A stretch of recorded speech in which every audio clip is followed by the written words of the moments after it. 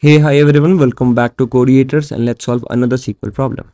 So this question, histogram of users and purchase has been asked in Walmart interview. So let's read out the problem. Assume you are given a table on Walmart user transactions based on their most recent transaction date. Write a query that retrieves the users along with the number of products they bought output the most output the user's most recent transaction date user id and the number of products sorted in chronological order by transaction date. Okay? So basically you have given a table name as user transactions. Okay? Let's uh, read out the detail of the user transaction. You will be having product id user id spend and the transaction date on which the transaction happened. And what you have to output? You have to output like uh, transaction date the user and what are the number of products uh, they purchased. Okay? Now to explain you further let's suppose a user a okay bought something on uh, a bought uh, amount x uh, sorry amount x or product x product y product z and this he bought on like today. Okay? And y they bought on today and z they bought on yesterday. Okay?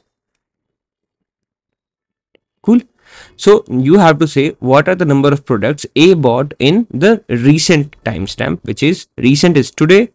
So these are the two products the uh, A bought. So A bought A on today bought two products. That's all. This is what you have to uh, query out. Okay. So let's read the example first. As an example, 123. Okay 123 bought two products okay?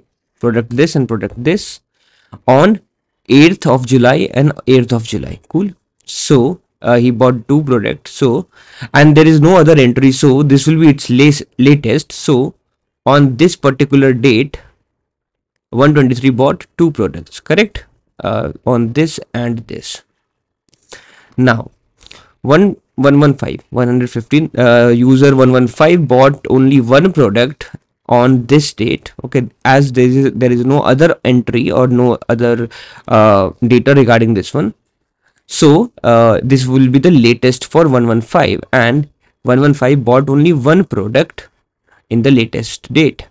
Now coming to 159 as you can see 159 bought two products but uh, 159 bought one product on 8th of july and another one is on 10th of July. So I will take the latest one. So I will be taking only this record, which is the latest one. And I'll say 115, 159 bought only one product. Okay. Now this is the same output. Okay. So taking 115, 115 here we have. So on, uh, and it was the latest. So on 8th of July, bought one purchase. So one for one, one, two, three 123 is here and 123 bought two products on the same date. That is why it is having two. And uh, for 159 although he bought two products but on different dates. So on the latest date 159 bought only one product. That is why we have one.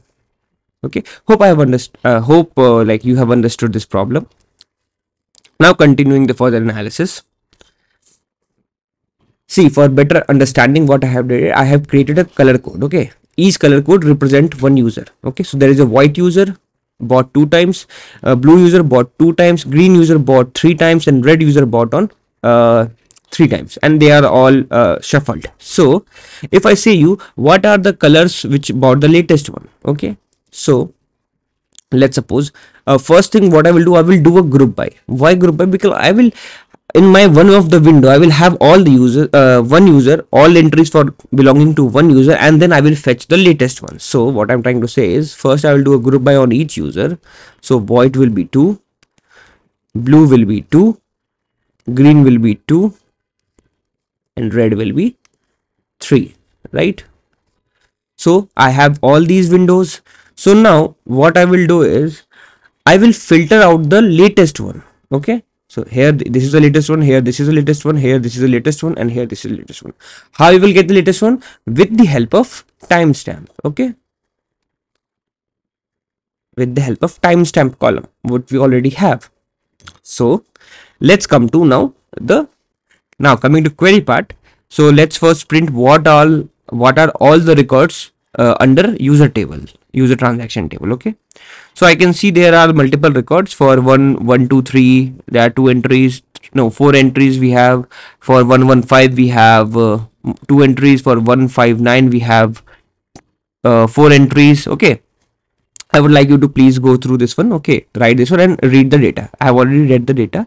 So i have already prepared a query okay? It, this is not the exact query but this is how i'll start to save some time i have already written that query. So what i'm doing i'm selecting user id and transactional date okay? And i'm create i am counting what are the products uh, which is coming under this window. So there will be a window i'm creating with respect to a so i'm using a group by here. So group by is saying that arrange all the user id together and and then arrange all the user uh, the transactional date with respect to that user id okay i'm creating a window consisting of user id unique uh, unique user id and unique transactional date. Now what i'm doing here is after doing this i am doing an aggregation which is a uh, count on top of the product id so basically i'm counting what are the records okay? What are the records uh, which is coming into one user id with one transactional date? What are the different product ids okay so let's suppose user id bought uh, two products product a and product b on the same date. So product user id 1 same uh, transactional date but bought two product id so that's why product uh, purchase count will be 2 okay this is what we have seen here. So 159 bought two products on the same date. 115 bought uh, one product on one date. 115 bought a second product on different date 123 bought uh, uh, like two products on different dates one each. 159 bought again two products uh, on different dates one each. And 123 bought two products on the same date. Cool? This is what we have understood. Now according to query or according to the question we have to filter the latest one. Okay? So we'll provide uh, what is the latest uh, which record belongs to the latest one with respect to timestamp so for this i will use a row number okay? Uh, this is a window function. I'll use a window function for this. So row number and i will apply on top of so over on top of my user id so i will apply the partition on user id partition. Partition by user id and order by transactional date okay? And it should be decreasing that because we want the latest one. Correct? Now let's write this row number. Okay? Execute the query. So now read the uh, output. So for 115 there are two records. Okay? And this is the latest one uh, 12th of july. Okay? And this this is the record i want. I don't want record 2 because this is uh, the older record with respect to latest one. Okay? Same for 1 2 3 you can see what is the latest. 11th of July, 10th of July, and 8th of July. So 11th of July is the latest one, and uh, 1, 2, 3 bought one product only.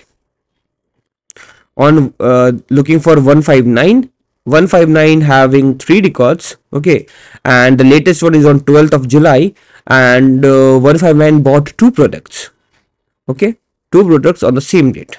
So I'll filter out the one. So what uh, what will be my next part is like I will select only those records where the row number is equals to 1 because row number 1 u1 is giving me the latest record got it now i'll create a cte for this one i'll store this one with uh, ranked cte as